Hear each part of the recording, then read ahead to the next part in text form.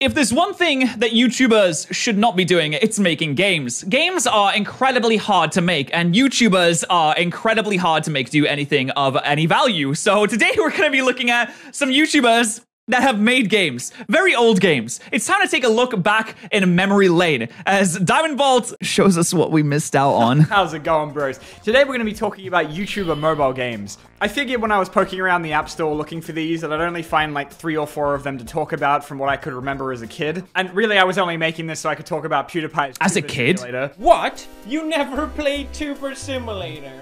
Cringe. out I was still kind of half What? because you can only play about four of them. The majority of YouTube games that did exist have now been Okay, I'm gonna be honest. The only YouTuber game that I know of is PewDiePie's YouTuber Simulator. I'm pretty sure at one point MaxMoefoe was gonna make a game, but I don't know if that went by the wayside, if that was discontinued.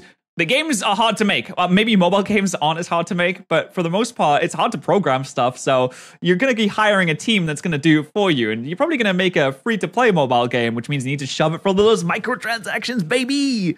You gotta milk your fans for all they're worth. Let's go. I've been since lost to time forever, with the only proof of their existence being like 10 year old Smosh had a game? on someone's Nokia phone. I'll still try and talk about them, but it's obviously going to be a lot less fun since, you know, I can't play them. And only official ones, by the way, so I am not going to be looking at the 10 trillion Markiplier dating sims. I know.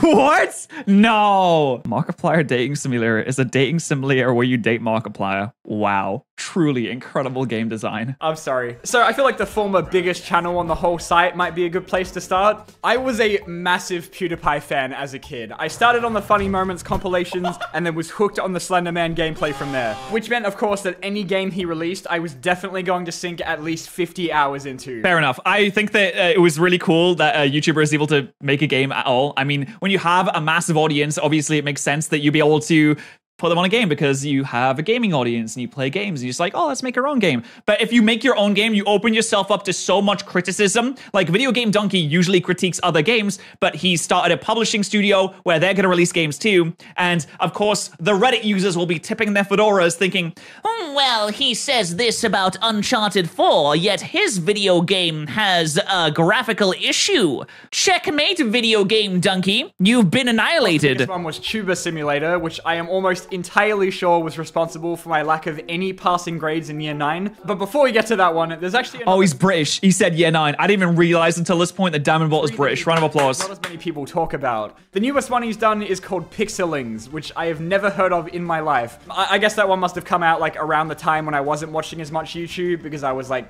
failing school. I was surprised that this one is an RPG, but it's good because your pixelings attack automatically, which means you don't actually have to play an RPG. He also had another one called Poopty that was taken off the app This one confused me so much. I don't, I don't understand this.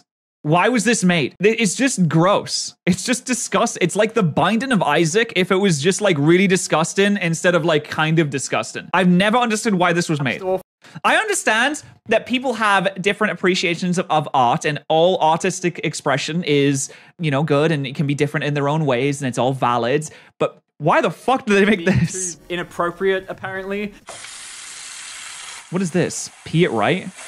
Okay. What happened? Dude, what has that guy been drinking? Listen, I don't judge anyone for how they live their lives, but if your piss looks like primordial jelly, then maybe we need to figure out something. His first ever game, though, was PewDiePie Legend of the Brofist, which I played the crap out of as a kid. This one's a fully fledged 2D platformer, complete with That's like, kinda a cool. million levels, fully voice acted cutscenes. There's a bunch of collectibles and items that I can't see because Apple won't let me get rid of this fucking grey line at the bottom of the screen, and you can play as Markiplier. A phone call? That's kind of sick. Now's not really a good time. Hello, everybody. My name is Markiplier. Not that I'm fucking. Wait, is that really in the game? That's so funny. That's actually a genuinely good game. That looks really good. actually or anything, but the amount of variety in the earlier levels is honestly really impressive. Literally, you start the game, then you're jumping across moving cars on a highway, then Markiplier shows up in a jet in level 2, then you're in a plane level dodging falling whales from the sky and fighting a flying tank. Then in level 4, you fight a T-Rex in a subway. I didn't have time to play too much of it for this video because mum wanted me out of the basement, but I remember this one kept me entertained for so many hours on interstate trips with my parents because playing PewDiePie games was more important to me than making memories with my family. The controls are a Facts. on mobile. Shout out to all those kids out there, all those playing Pokemon on your Game Boy on the road trip. Shout out to all those you're at the restaurant, but you need to beat the gym leader. Shout out to all those, no, I can't save. I'm in a battle right now. I see you. You're respected. You lived the same childhood I, that I lived. We we have a connection there. Markiplier does Gangnam Style, so not a whole lot to complain about. It reminds me a lot quality-wise of the Angry Video Game Nerd games, which I would also be talking about if they had mobile ports, but both of them are super impressive for being YouTuber games. But I know you all just want me to talk about Tuber Simulator, so... Whoa! Here we go. You haven't tried Tuber Simulator seriously? After 50 million outros? It's crazy. I remember I first played Tuber Simulator within like the first two years that I started YouTube, and I honestly preferred it to the real thing because at least in the game I could be successful. I have like Wait, oh, you meant you preferred it to being a YouTuber. That's kind of funny. vague memories of sitting in the stalls in the school bathroom at lunchtime to play it. I didn't even need to shit. I just wanted to keep playing it. Uh, our school had a ban on phones to clarify. I it Wait, hold on a second. Look at that shit. background there. I just wanted to keep playing it. Uh, our This background, I think this background reminds me of something. This is Dylan's not first background, but I can't pause the video. The, the video keeps unpausing itself. Why is this lagging so much? This is Dylan's background. So if you ever think that this background is is uh, unrealistic, just know that it is not. This is such a cool. This is I love this background. This is my favorite uh, Dylan background. This is so good. It is awesome.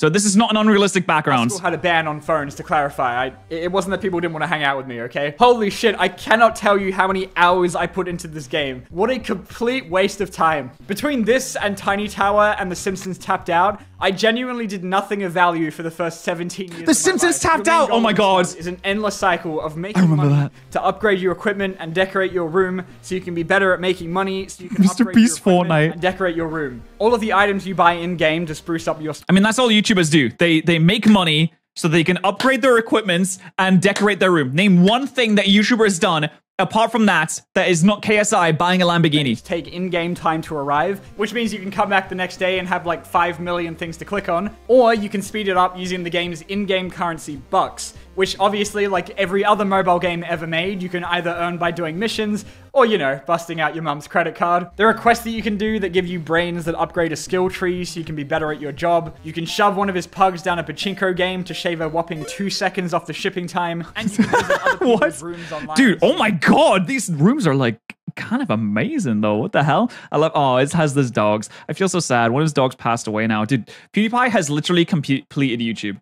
He has completed YouTube. He's doing the epilogue now. He did everything that he needed to do. He finished it. He was like, all right, I'm going to go live in Japan and do the epilogue where he just went off, flew away, got a new dog, and had a baby. see how insignificant and shit you are. Your other currency are views, which just like in real life, you get from making videos that you can then use to buy new items and make the place look a little less accurate to my real life work environment. And my original room in this game was fucking awesome, okay? I have zero proof of this, but Jesus Christ, that's an insane yours. room. I can confirm as a full-time YouTuber that yeah, this is a pretty accurate experience. The entire job Can you be a can you be a VTuber in this though? Is my question. never leaving your room and waiting for Amazon packages to arrive. Nowadays though, Tuber Simulator like isn't really my thing. I mean, none of the games where like the goal is just to endlessly play it really are anymore. Are there any really, really good mobile games out right now? I don't really play mobile games. I can't get into them. Just the microtransactions and the need to wait to be able to play things. I don't know. It's like, do people play like Honkai Star Impact or whatever the what's Genshin Genshin Star Rail? from like Tiny Tower, but that's because that one's like the goat. But they definitely go down in quality from here because the next ones we're looking at are from the Annoying Orange. So No. unfortunately, there are No. two Annoying Orange games. The first is like one of those flash games like Learn to Fly or Toss the Turtle if you've they were so good. I used to play them in school. Oh my god, I used to love Toss the Turtle. Toss the Turtle, Swords and Sandals, Learn to Fly, Age of War, all those Flash games. Man, this is bringing back so many good memories now. where your objective is just to launch a random fruit as far as you can, but with a baseball element that doesn't work half the time. With the end goal of brutally murdering the fruit you are given by dropping them in the blender or a I cannot describe how much it confuses me that there, there's a an audience for Annoying Orange to this day. I'm pretty sure he has his own TV show or he made a, like a movie or something. I don't understand. Everything about the annoying orange has just grated on me. Not in a good way. Not in a endearing kind of, aw, he's, he's a little bit of a dick, but you know, we kind of love him kind of way. Ever since I first saw that little critter, I never liked it. electrocuting them. Like, if they don't at least die horribly, the game will penalize you for it. All of this while Orange Good. sits in the corner and insults you the entire time. Yikes! Even I could have done better. And I don't have hands. Kill you. I will, I will kill you. Yes. Yes. You would think that would make you not want to play the game, right? Yes! Because that would mean you'd have to listen to Orange talk. But even if you don't do anything, he still won't shut the fuck up. Are you gonna do anything? There are power-ups that you can get. God, I hate his teeth. Slightly less shit, but there's not really a sense of progression like you would have in those other games. Also, if you miss any of the shots, the game counts down until you run out of balls and then asks you to pay for it to keep playing. How are they going to pay for it? There's no one that watches Annoying Orange of the age of nine. Oh, they're just going to steal their parents' credit card, of course. The other one, Kitchen Carnage, looks considerably crustier. Uh, it's a paper toss clone where you throw fruit straight into a blender, which is very hard to do without a proper. You just of killed them. It's got three. That's much better. Classic balloon mode, which makes it a little easier to hit things, and endless if you want to torture yourself, I guess. And yeah, that's about all the surviving ones I could find that aren't from today's generation of YouTubers. Wow, wasn't that exciting? So now we Wait, have that's it? Tag with Ryan from No, Ryan's toy reviews? Ryan's World. You know that exploited child slave on YouTube that has like. How old is Ryan now? On a video where he plays with toys in a pool for five minutes. His game is a half decent Subway Surfer clone with the exact same three lane mechanic, same magnet power up, same daily objectives. Do you think that Ryan's still going to be making those videos when he's like 21? I can imagine that the parents won't just let him stop until he moves out, right? I wonder if the parents are going to st- like just take all the money. I imagine they're probably good parents. I like to imagine everyone is a good parent. That they're just setting him up for life. Like that kid is sorted for his entire life now, like millions. He's got a pile of millions that he can dive into. His university is sorted. His house is sorted. His car is sorted. His life is sorted. He's done. He has generational wealth. Hopefully. And you're chased by like a panda with a PewDiePie headset, which is probably a character from his videos, but I am not watching that shit to find out, dude. Because Ryan's parents haven't sucked enough money out of their child yet, the game uses pizza slices as currency, so you can do things like continue a run after accidentally drowning a small child, which will cost you like $2 to get 75 or $3 to get 200. You can I mean, that is a pretty good way to revitalize a child. Just give them pizza. these from doing missions or sitting through Monster High doll ads, though. So at first I was surprised that this one was Monster High? Is that scummy Bratz? that I played. But wait, it's coming. I, I was poking around in the menus, and I was honestly kind of surprised by how much content there is. There's like 2 million skins in the game, all of which you need pizza for, and a list of vehicles that cost like a shit ton of slices. And then on top of that, Imagine trying to explain that to your parents. Like, Mom, Mom, Mom, Mom, please, please, please, you have to buy me pizza slices in the Ryan's game or I won't be able to get all the skins.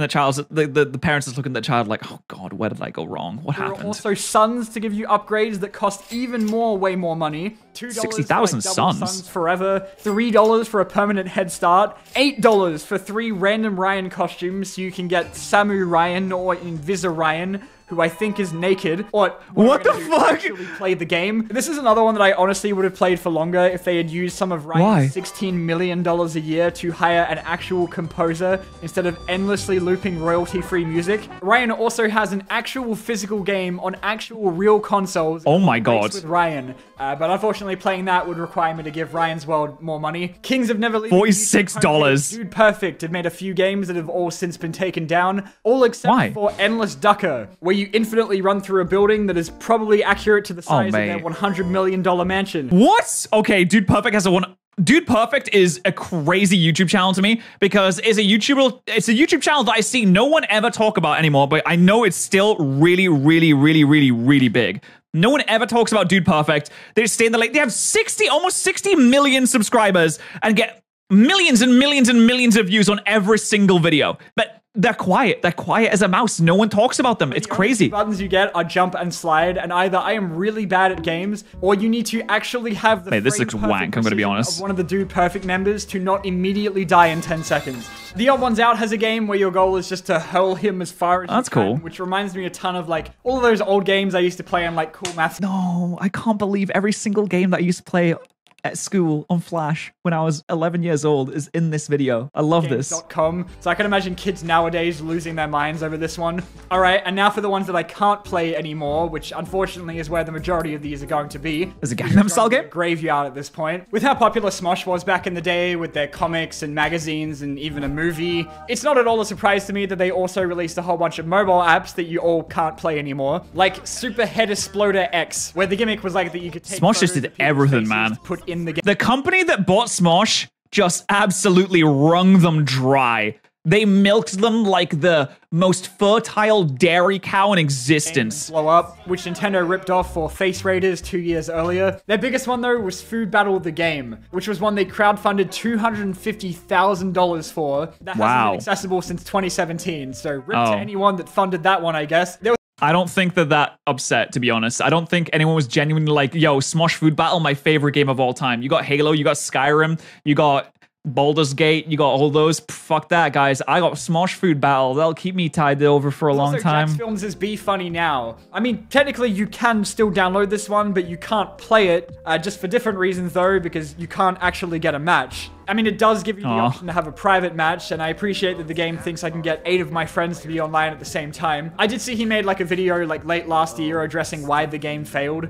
Number eight, no nudity. And, and he mentioned like after the game like died, they sort of updated and revamped it a bit to make it more like Jackbox, from my understanding. But the fact that I can't get a match now is probably not a good sign. H3 That's a shame because you put so much time and effort. I assume for someone like Jacksfilms, I feel like he put a lot of effort and a lot of love into that game. And you know, once it flops, it flops. It's it's not going to be able to be revitalized. There's only so much you can do. So H3 had a game you called do? Rider that was made by the same guys who did Tuber Simulator. God, there's so many of these. There was a Fred game on Miniclip that just Oh, straight no. up won't load. Tobuscus Nice. also had a crowdfunded game called like Tobuscus Adventure Wizards that you can't get on iOS anymore, but you can still play on Steam, though what the? Whoa, whoa! This one looks like an actual isometric RPG. What- What's going on? Released date in 2020. I'm sorry. Does does Tobuscus still have the pull to release a video game in with 2020? all of the Tobuscus branding removed, which is Oh, it got the Tobuscus branding removed. Right. No, that makes sense probably actually. for the best. There was an app where you could endlessly shove meat into Harvey from Epic Meal Times' mouth that has its own Wikipedia page, but not an available download link. Tom Who wouldn't want to do that? You know. Scott made a game with a bunch of other YouTubers in it called Cat Attack, which genuinely looks fucking awesome, but got taken off the App Store when the devs went bust. But thank God That's I can still play Morgz' Ultimate Challenge, a game that has proven to me that mobile game ads are not even fucking trying anymore. Bro, stop. Oh, Bro. And yeah, that's about all of them. Well, I Mr. Beast the video to be Burger? So depressing. Uh, Brofist. They're all dead. All the all the video all the video games are dead. Uh, gaming is dead. Listen, if my favorite YouTubers can't release a game that continues and is popular to this day, then gaming is dead. People out here playing uh, Tears of the Kingdom. Why play Tears of the Kingdom when you can play Tuber Simulator, a real video game for the most hardcore gamers?